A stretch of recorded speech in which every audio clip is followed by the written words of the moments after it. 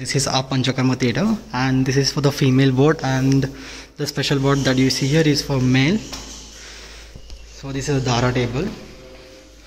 Here in this we have like some of the oils that were required for the procedures. There are aprons and some utensils and in this cupboard we have uh, it is supposed to contain some kind of uh, flour but then we bring it from other a fresh flour uh, from outside.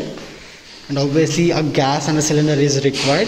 And this is a Svedana yantra with a pipe. And this is for Svedana.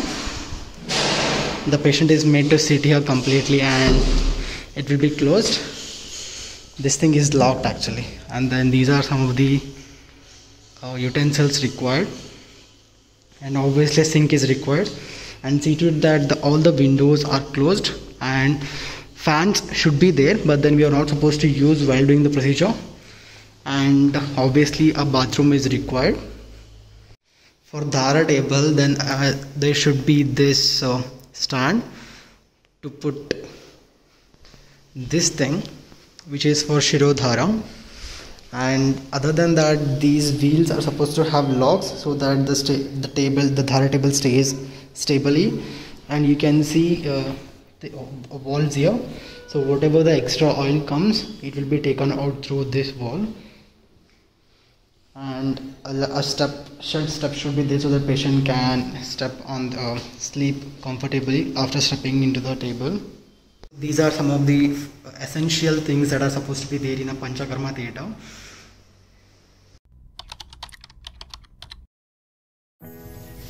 So there are various things that are supposed to be done while doing Shirodhara. For example, in pre-operative conditions, we are supposed to close the eyes and ears of the patient using cotton pods and cotton plugs so that the oil does not enter the eyes and it does not cause any kind of irritation.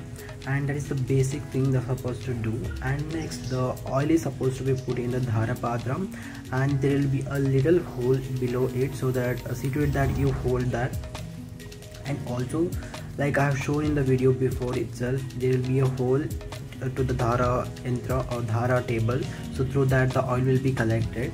And after the procedure starts there are various methods that are supposed to be done. For example the picture that you're seeing on the video uh, it is a basic thing that you can do or else there are different methods that you can follow. It need not be a clinical or classical method that you are supposed to follow uh, you can adopt as according to your your practice practitioners or according to your experiences Shirodhara is nothing but a continuous pouring of medicated liquid in a systematic manner on the forehead or scalp using Dhara Yantra. And there are different kinds of Shirodhara, to example Tailadhara, Takradhara, Kashayadhara, Kshiradhara and Kshirapakadhara and Jaladhara. So the benefits of Tailadhara include uh, stability in speech and mind. It, in, it also known to increase the strength, increases relishness towards food, increases sweetness in the voice, smoothness of skin, and removes uh, any kind of eye eye disorders, and also prevents eye disorders. It also is known to increase the desire, longevity, and prevents disturbed sleep. And the thing that you are seeing in the video is the post-operative procedure that is uh, Shira Abhyanga or the massage of the head. So there are certain procedures that are supposed to be done after the procedure. Hi Jansi. Hello. So when when you were under getting that procedure done, what was your experience? Like what did you feel? It was very nice actually. And it was hot, but um, we can manageable only. I was actually getting sleep by doing that.